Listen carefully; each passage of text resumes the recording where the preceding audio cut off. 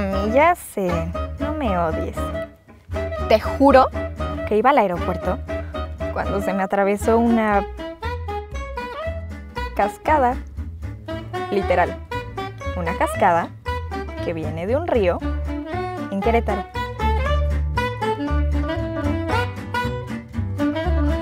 Quedarme fue la mejor decisión. Para nada me arrepiento. Si te soy sincera, no me quiero ir. De hecho, ¿ya viste los boletos? Los debe tener papá. Empaquen y alcáncenme. Yo invito. Besos. Nico.